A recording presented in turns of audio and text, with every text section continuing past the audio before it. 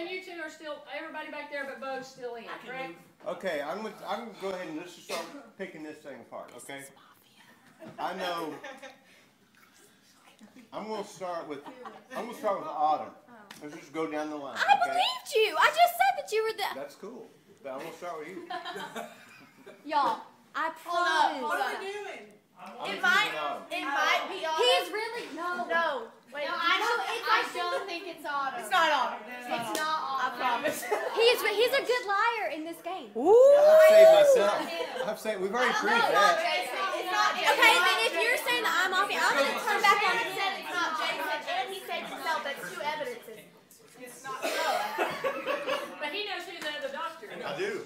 Yeah, but the doctor could be the other doctor could he could just be one doctor or the other doctor could be No, dead. there's two doctors.